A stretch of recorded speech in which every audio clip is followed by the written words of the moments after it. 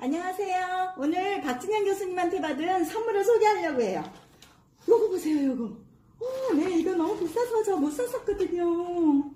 요것도 있어요, 요거. 훌라라. 아다프루트. 그 다음에 제일 좋은 게 뭔지 아세요? 제가 아두이노 맘이잖아요.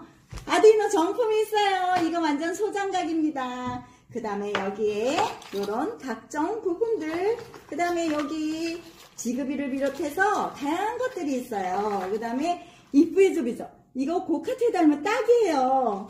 네, 그 다음에 여기에 여기도 하나 가득 여기도 어댑터 네 교수님 아이들하고 재밌게 만들면서 놀게요